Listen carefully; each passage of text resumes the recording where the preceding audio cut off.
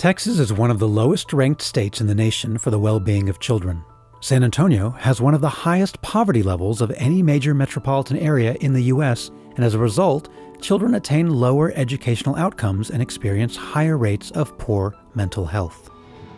Musical Sprouts culturally specific curricula and live performances address these deficits for students through STEAM, mental health initiatives, and cultural literacy. Our seven year study with the University of Texas at San Antonio demonstrated a 50% increase in students' subject matter retention and social emotional learning. In addition to over 140 schools, it is now offered at Family Violence Prevention Services, the Young Women's Christian Association, and SAM Ministries Transitional Living and Learning Center.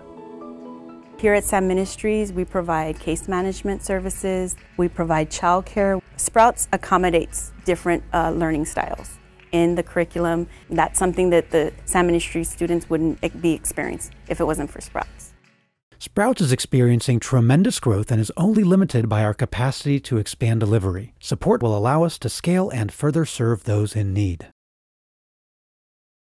You can understand that these people have feelings too. They are not demons, they are humans. I must show compassion. They can become my friends.